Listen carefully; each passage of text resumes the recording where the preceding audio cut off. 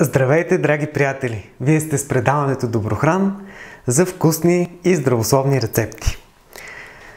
Време е да направим една вкусна гозба, нещо като гъст таратор, в който ще сложим, виждате, доста краставици,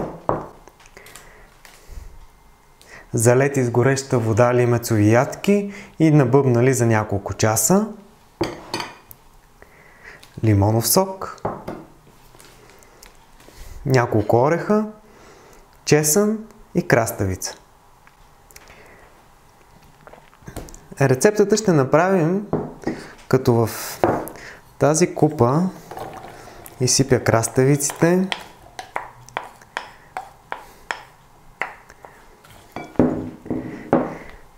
лимецовите ядки. В други броеве съм ви показвал как ги приготвяме с помощта на една чудесна машинка, която ги пресова. Така, обърквам. Това ще си е доста пълноценно ястие, защото има си лимец, орехи, краставици. Сега след като разбъркахме лимеца и краставиците. Следва в блендера да направим другата част. Слагаме краставица, чесън, орехите, другата краставица, лимоновия сок,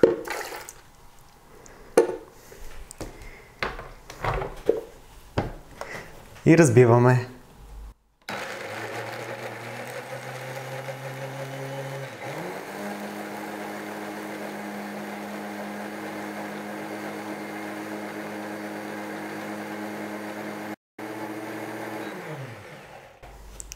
Готово. Нашата орехова заливка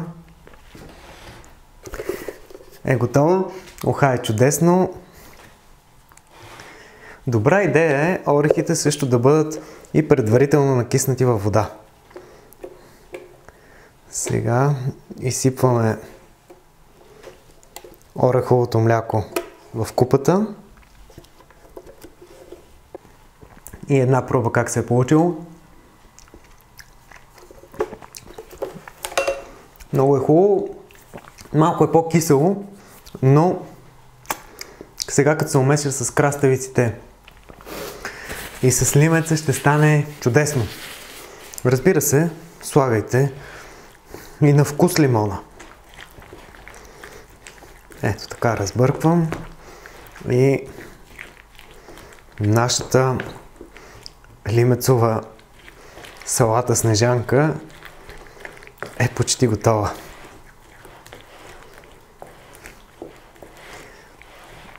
Тъй като краставиците са домашно жеравненски, не съм ги белил, за да може полезните вещества в кората да им се зарадвам и на тях. Не знам дали сте гледали миналата рецепта за мишмаша. Там ви казах едно стихче, на което ме научиха едни деца. Сега пак ще го кажа, преди да опитам тази гозба. Ето, сипвам си тук. На слънцето и на земята, на въздуха и на водата, на всички малки и големи същества, благодарим за нашата храна. Благодаря!